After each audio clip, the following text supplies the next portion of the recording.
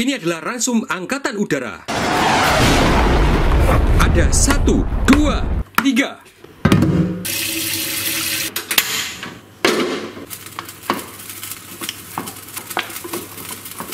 A few moments later. Nasi balado daging. Oke, seperti ini.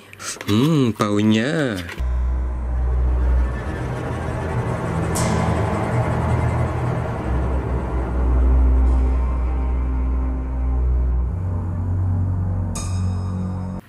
Kita coba dagingnya terlebih dahulu.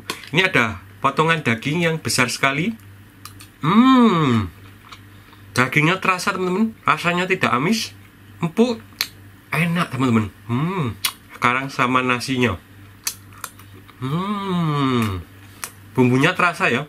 Kemudian saran saya ketika kalian merebusnya itu agak lama teman-teman. Kira-kira 15 sampai 20 menit ya biar nanti rasanya lebih enak. Hangat, panas, terasa empuk, semuanya bisa menyatu.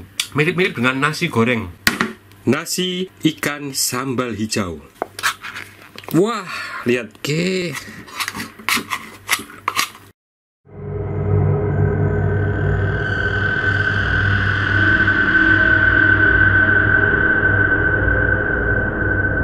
akan coba ikannya dulu teman-teman. Hmm, hmm, enak sekali. Ini ikannya terasa ada pedas-pedasnya teman-teman. Kayak ikan apa ya? Hmm, kayak ikan tongkol.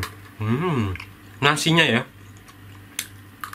Hmm, men- jadi sambelnya itu sudah menyatu dengan nasinya, dengan ikannya gitu ya. Jadi semuanya agak terasa pedas, tapi tidak pedas banget. Nasi ayam kecap.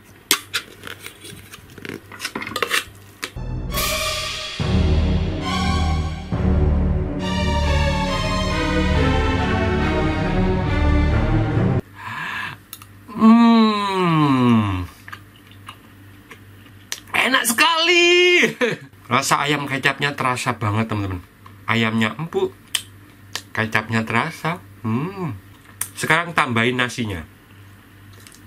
Hmm, tambah enak. Satu kali ini ketika dituangkan ke dalam satu piring itu banyak banget. Sangat-sangat kenyang sekali. Jadi kalau kalian porsi makannya nggak terlalu banyak, ini bisa dibuat untuk berdua agar lebih hemat. Setelah mencoba dari ketiga rasa ini, ternyata saya bisa menyimpulkan yang paling enak adalah nasi ayam kecap nomor satu, nomor dua,